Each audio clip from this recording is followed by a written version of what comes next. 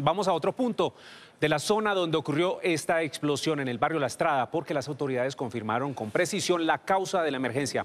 Leslie Pérez tiene toda la información. Leslie, adelante.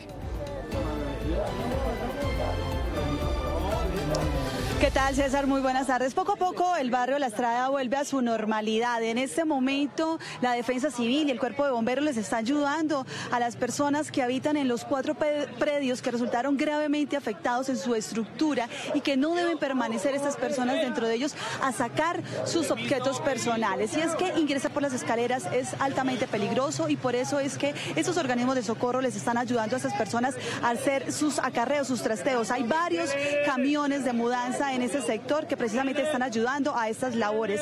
Y en este momento, en este lugar de la zona del barrio Estrada, donde ocurrió ayer la gran explosión, permanece el puesto de mando unificado, donde los diferentes organismos de atención y las autoridades ya determinaron cuáles fueron las cautas de, la explosión. El director del Cuerpo de Bomberos de Bogotá, el director Pedro Manosalva, ¿cuáles fueron las eh, causas que ustedes ya pudieron establecer hasta la hora de la explosión del mediodía de ayer?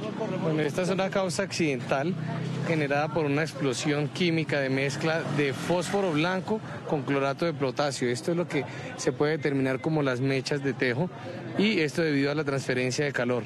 La zona de origen, como lo podemos ver, es el primer nivel en donde estaba el local comercial. Esto lo establecimos en un trabajo conjunto, bomberos, policía y SIGIN.